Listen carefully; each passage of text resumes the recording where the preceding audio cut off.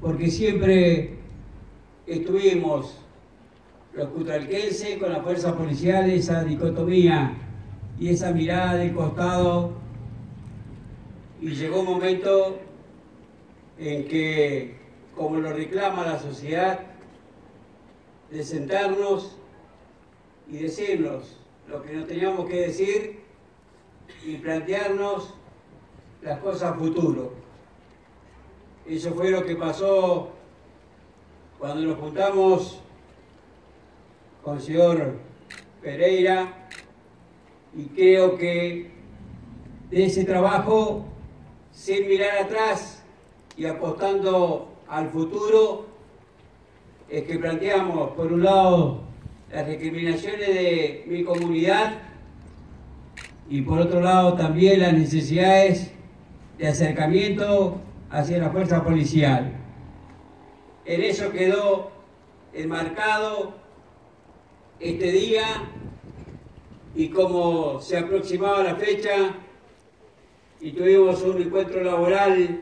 en Buenos Aires esta semana con el señor gobernador y le digo, necesitamos que esto sea un poco más antes. Ahí nomás recogió el guante y adelantamos y lo estamos haciendo hoy. Creo que este trabajo que venimos sumando mancomunado con la Comisaría de la Mujer, con el refugio para las mujeres golpeadas de parte del municipio, con las cámaras, en los cuales también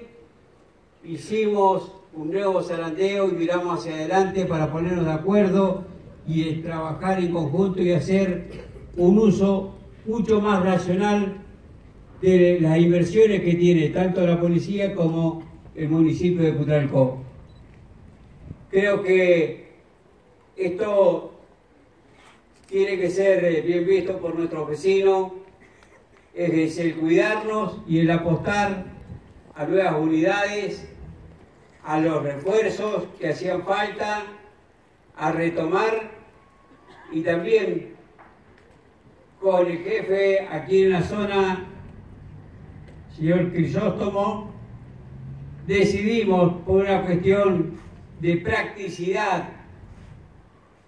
y de ubicación geográfica hacer un enroque, pasar adicionales a donde estaba la comisaría de la mujer y la misma trasladarla aquí en el centro.